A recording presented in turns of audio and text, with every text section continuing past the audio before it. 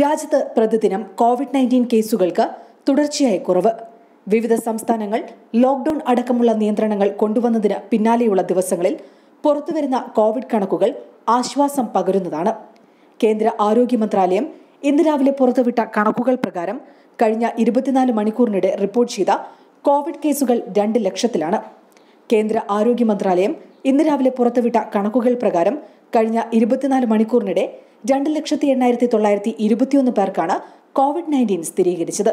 ഇതോടെ രാജ്യത്ത് കോവിഡ് സ്ഥിരീകരിച്ചവരുടെ ആകെ എണ്ണം രണ്ട് കോടി എഴുപത്തിയൊന്ന് ലക്ഷത്തി അൻപത്തിയേഴായിരത്തി എഴുന്നൂറ്റി തൊണ്ണൂറ്റിയഞ്ചായി ഉയർന്നു. ഒരു ഘട്ടത്തിൽ നാല് ലക്ഷത്തിന് മുകളിൽ ദിനംപ്രതി കോവിഡ് കേസുകൾ റിപ്പോർട്ട് ചെയ്യപ്പെട്ടിരുന്നു.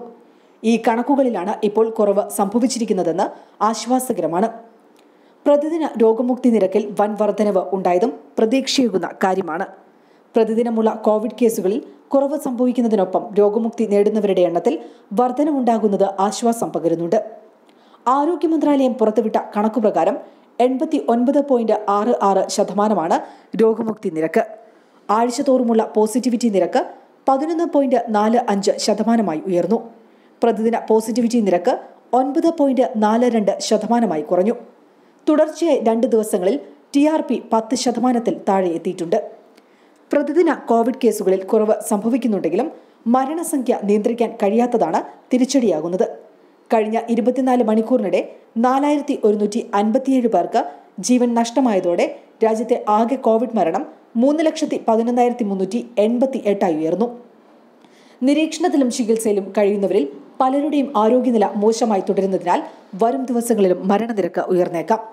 കഴിഞ്ഞ ഇരുപത്തിനാല് മണിക്കൂറിനിടെ രണ്ട് ലക്ഷത്തി തൊണ്ണൂറ്റി അയ്യായിരത്തി തൊള്ളായിരത്തി അൻപത്തിയഞ്ച് പേർ കോവിഡ് മുക്തി നേടി. ഇതോടെ രാജ്യത്ത് കോവിഡ് മുക്തി നേടിയവരുടെ ആകെ എണ്ണം രണ്ട് കോടി നാൽപ്പത്തിമൂന്ന് ലക്ഷത്തി അൻപതിനായിരത്തി എണ്ണൂറ്റി പതിനാറായി സജീവ കേസുകളിലും കുറവുണ്ടായിട്ടുണ്ട്. ഇരുപത്തിനാല് ലക്ഷത്തി തൊണ്ണൂറ്റി അയ്യായിരത്തി അഞ്ഞൂറ്റി തൊണ്ണൂറ്റിയൊന്ന് പേരാണ് നിലവിൽ ചികിത്സയിൽ കഴിയുന്നത്.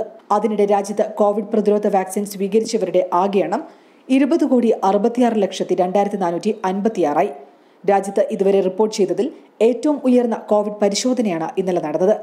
കഴിഞ്ഞ ഇരുപത്തിനാല് മണിക്കൂറിനിടെ ഇരുപത്തിരണ്ട് ലക്ഷത്തി പതിനേഴായിരത്തി മുന്നൂറ്റി ഇരുപത് സാമ്പിളുകളാണ് പരിശോധിച്ചത്. ഇന്നലത്തെ കണക്കുകൾ കൂടി ചേർന്നതോടെ ഇതുവരെ നടത്തിയ പരിശോധനകളുടെ എണ്ണം മുപ്പത്തിമൂന്ന് കോടി നാൽപ്പത്തിയെട്ട് ലക്ഷത്തി പതിനൊന്നായിരത്തി നാനൂറ്റി തൊണ്ണൂറ്റിയാറായി ഉയർന്നെന്ന് Indian council of medical research അറിയിച്ചു. കൂടുതൽ വാർത്തകൾക്കായി ഞങ്ങളുടെ വെബ്സൈറ്റായ Malayalam dot Samayam dot com സന്ദർശിക്കുക. കൂടുതൽ വീഡിയോകൾക്കായി ഞങ്ങളുടെ യൂട്യൂബ് ചാനൽ സബ്സ്ക്രൈബ് ചെയ്യുക. ഇത് സമയം മലയാളം ഫ്രം ടൈംസ് ഇന്റർനെറ്റ്.